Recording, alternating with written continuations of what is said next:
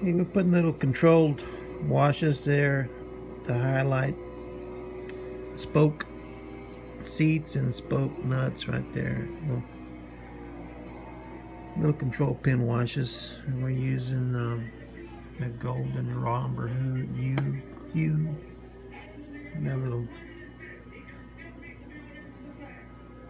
little dab of stuff right here in my paint palette. Come back in here if I can get this thing in the right place. And then we'll just put little controlled pin washes. This is a very tedious job, especially I got um, 80 spokes per wheel. Just take your time and lay it in there. And then we'll come back and then we'll do the little spoke seats also. Right now we're doing the top, the top of the spoke uh, nuts.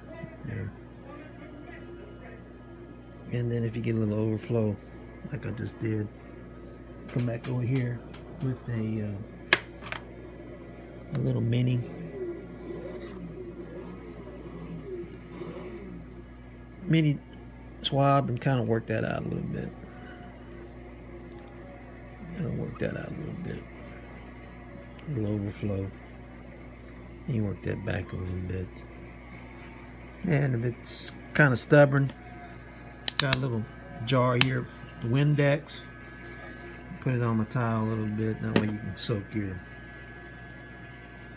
your cotton swab a little bit and work back over here if you think you got a little bit too much of an overflow.